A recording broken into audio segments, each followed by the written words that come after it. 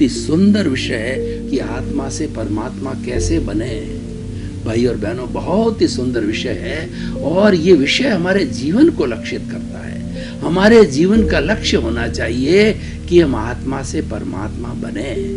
हमारी भारतीय संस्कृति में चार तरह के पुरुषार्थ बताए गए हैं, काम, अर्थ, धर्म और मोक्ष। और इन चार पुरुषार्थ के अंदर काम और अर्थ हमारे जीवन की आवश्यकता है, हमारे समाज की आवश्यकता है, हमारे परिवार की आवश्यकता है। इससे परिवार संचालित होता है और सारा विश्व चलता है और जितना लौकिक जगत है, उसका संचालन है। काम और अर्थ के बारे में होता है, इसीलिए इसकी ट्रेनिंग की आवश्यकता नहीं है। अब जो तीसरा जो तत्व है, वो धर्म है। काम और अर्थ नदी का एक तट है और जो हमारी मंजिल है, जो हमारा साध्य है, वो है मुक्ति। वो है परमात्मा बनना। तो वो हमारा साध्य है और उसके बीच के अंदर जो ब्रिज है वो धर्म है। धर्म, काम और अर्थ को जो है, वो वो शुद्ध करके और मुक्ति की ओर ले जाने की प्रक्रिया है। तो वही आज का हमारा विषय है। तो हम अपने जीवन का लक्ष्य बनावें कि हमको आत्मा से परमात्मा बनना है। इसके लिए हमको दृढ़ संकल्प की आवश्यकता होगी। हमें शुभ भाव लाने पड़ेंगे। हमें जागृति रखनी पड़ेगी। हमें 24 ये लक्ष्य हमारे केंद्र में रखना पड़ेगा।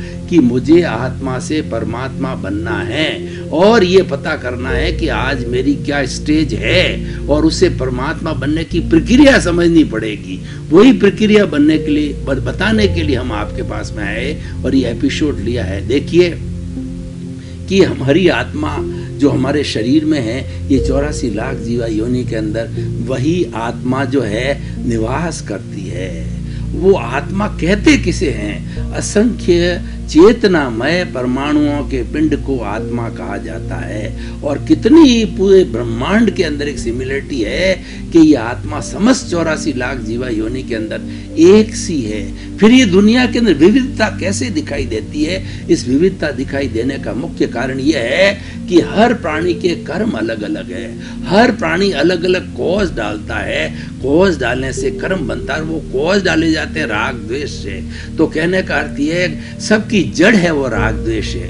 राग द्वेष से वसीभूत होकर के कोई भी प्राणी जो है वो नए बीज डालता है, कर्म बीज डालता है, उससे अगले भव के अंदर जाकर के कर्म फल बनता है और कर्म फल से जो है, हमको परिणाम मिलता है। कर्म परिणाम बोलते हैं जिससे उससे सुख दुख की अनुभूति होती है हम जीवन के हर क्षण के अंदर सुख दुख की अनुभूति महसूस करते हैं। कभी सुख आया और वो भी स्थायी नहीं होता है, उसके बाद के अंदर दुख आ गया, दुख चला गया तो सुख आ गया। हर संयोग के साथ वियोग जुड़ा हुआ है। ये शाश्वत सत्य है, कुदरत का कानून है, ये अल्टीमेट ट्रुथ है कि स्थायी कोई चीज़ नहीं स्थायी है, केवल आत्मा तत्व स्थायी है।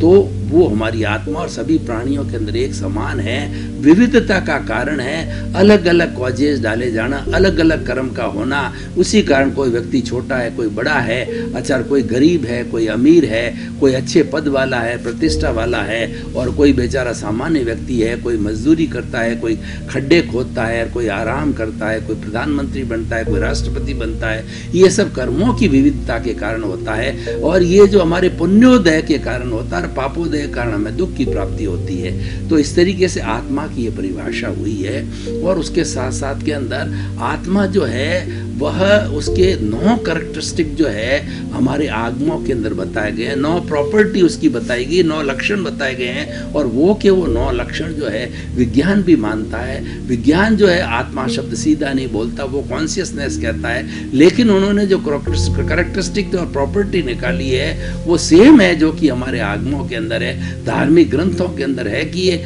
आत्मा प्रजनन करता है, सुख दुख की अनुभूति करता है ग्रोथ करता है, और प्रभावित होता है, ये राग द्वेष से प्रभावित होता है। इस तरीके से नौ तरह की जो है करेक्टरिस्टिक्स के अंदर बताई गई है और शुद्ध आत्मा है, वह अशरीरी होता है और जो वो अपने मुक्ति धाम में रहता है, मोक्ष के अंदर रहता है। तो ये आत्मा की करेक्टरिस्टिक है और ये विविधता है और ये सब आत्मा के बारे में। अब प्रश्न ये है, उस आत्मा को हम परमात्मा कैसे बनाएँ? हमारी इस आत्मा के साथ में, जैसा मैंने बताया कि राग, द्वेष रूपी कार्बन शरीर जुड़ा हुआ जिसे लिंग शरीर कहते हैं, जिसको कॉजल बॉडी कहते हैं, वो जुड़ा होने के कारण ये आत्मा भाव भवान्तर के अंदर ये घूमती रहती है। और ये घूम करके और जो है अपने सुख दुख की अनुभूति करती है, ये भव भवान्तर के अंदर जाती है। तो हम जो है, जब भव भवान्तर में से इसका छुटकारा कैसे पाए तो उसके लिए हमें चिंतन करना है। कि हमारी आत्मा की कुल तीन स्टेजेस कही जाती है। आत्मा वही है लेकिन इसकी मुख्य रूप से तीन स्टेजेज है। और भी कई स्टेजेस ज़्यादा हो सकती है। मुख्य रूप से तीन स्टेजेज बताई गई है। पहला, जीवात्मा।